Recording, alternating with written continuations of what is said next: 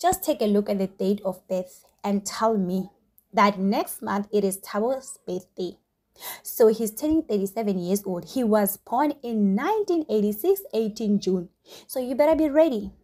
Those who used to sing for Tom Motsepe, honey you better be ready now because you're gonna sing for Thabo Bester anyway guys the uh, minister of home affairs aaron motsoaledi has confirmed that Thabo Bester has received both certificate and id document well allocated at Kgosi Mampuru prison. Thabo's pastor mother maria mabasu failed to register him with the department of home affairs following his birth in 1986 guys. So Thabo Bester also failed to apply identity document after turning 18 years old so it was hard for them to get an id for me. We all know that he has different name.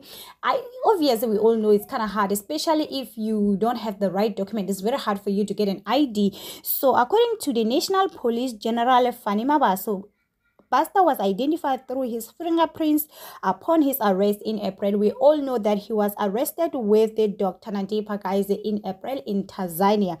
So at least we all know that at least now he has an ID, guys, and now we know he's Thabo Bester. But people have a lot to say.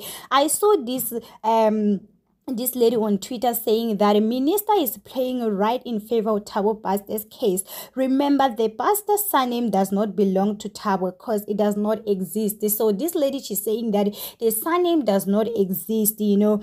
Both the Thabo Bester's mother and father do not belong in Bester. Who is Bester, guys? We remain the fact that the court has to deal with that. So probably people are saying a lot of things. And so another one is saying that it might be too late to issue a ID for him now. He was in fact supposed to do this behind closed door because now it's a proof enough that they did not do their homework when they arrest him in Tanzania. Hence, Nandi made an application to be released. Guys, there's a lot of people that are saying something like they should not have expose his ID right now because it seems like, you know what, they have not done their homework. They probably should have kept it, this thing a secret, but we all know that uh, this case is a huge case. We all want to know what's going on. But anyway, guys, so how do you feel that the fact that next month it is Thabo Bester's birthday, guys? I just want to hear from your comment section. Tell me in the comment section. Anyway, guys, don't forget to subscribe to like and comment. Thank you.